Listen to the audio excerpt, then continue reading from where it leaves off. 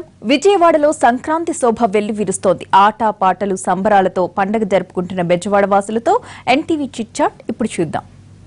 సంక్రాంతి ఎప్పుడు ఎప్పుడు అని ఎదురు చూస్తున్న అందరికీ కూడా సంక్రాంతి రానే వచ్చింది.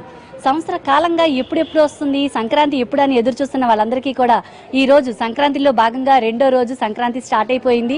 ఈ రోజు మనకి హరిదాసులు హరిదాసు కీర్తనలు దాంతో పాటు సన్నాయి మేళం ఇవన్నీ కూడా మనకి క- చూస్తున్నట్లయితే ఎక్కడైతే మనం పల్లెటూరులో చూస్తూ ఉంటాం ఏది హరిదాసులు కావచ్చు లేకపోతే సన్నాయి మేళం కావచ్చు ఇవన్నీ పల్లెటూరులోనే కనిపిస్తాయి. కానీ ఇప్పుడు మన సో ఇక్కడ బ- విజయవాడలో కూడా మనం చూసినట్లయితే హరిదాసులు సన్నాయి మేళం కూడా వాళ్ళందరూ వచ్చి ఇక్కడ మనం కనువిందు చేసే ప్రయత్నం చేస్తున్నారు. ఇట్లు కను హరిదాసులు మనం చూసినట్లయితే మచ్చుకు కూడా కనిపించకుండా పోయారు.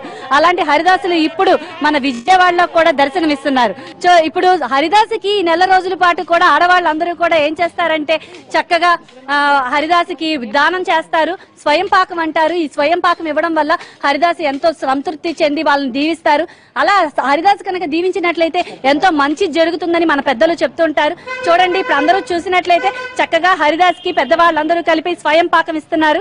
సో అందరూ చ- చక్కగా హరిదాస్ స్వయం పాకం అంటే మనం ఏమేమి ఇస్తారంటే ఇటు కూరగాయలు బియ్యము సో తర్వాత డబ్బులు వాళ్ళకి అలాగా అన్ని రకాలుగా స్వయం పాకం ఇస్తే మంచి జరుగుతుంది సంవత్సరం అంతా కూడా మంచి జరుగుతుందని మన పెద్దలు చెప్తుంటారు. సో ఈ నెల రోజుల పాటు హరిదాసులు మనకు దర్శనం ఇచ్చి మనకి ఎంతో కూడా సంతోషాన్ని కలగజేస్తూ ఉంటారు. వాళ్ళు వచ్చి వాళ్ళ కీర్తనలు మేళ మేళ కీర్తనలతో చక్కగా అంగరాన్ని అంతేలాగా జరుగుతూ ఉంటాయి. ఇటు మేళతాళాలతో డూడు బసవనలతో సంక్రాంతి ఎంతో కన్నుల వైభవంగా అంగరంగ వైభవంగా జరుగుతుంది. చూసినట్లయితే మనమందరం కూడా చక్కగా హరిదాసుకి బియ్యం వేయడం చక్కగా ఆయనకి స్వయం పాకం అందించడం కూడా మనం చేస్తున్నాము. ఇలా స్వయం పాకం ఇస్తే కనుక మనకి మంచి జరుగుతుందని మన పెద్దలందరూ కూడా చెప్తుంటారు. సో